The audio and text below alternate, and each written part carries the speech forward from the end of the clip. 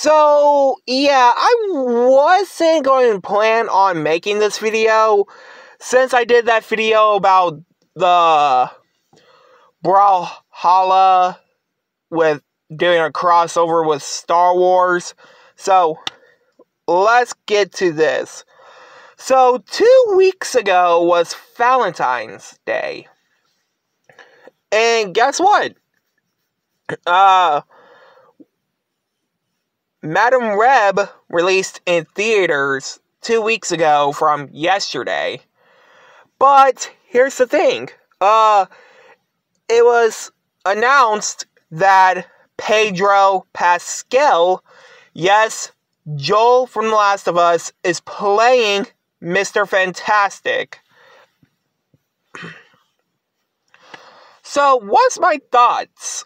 Um, my thoughts are that it's alright, but, uh, well, okay, here's what I really think about this. Um, I think it's the perfect role for Pedro Pascal, but not to mention, the last time we saw Mr. Fantastic, he was played by John Krasinski, the director of A Quiet Place,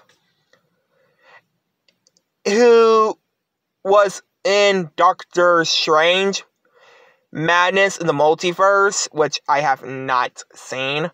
But yeah, uh Pedro Pascal uh is going to be the way much better than the Miles Teller Mr. Fantastic from 2015 because a lot of people is saying that the 2015 Fantastic Four reboot was terrible.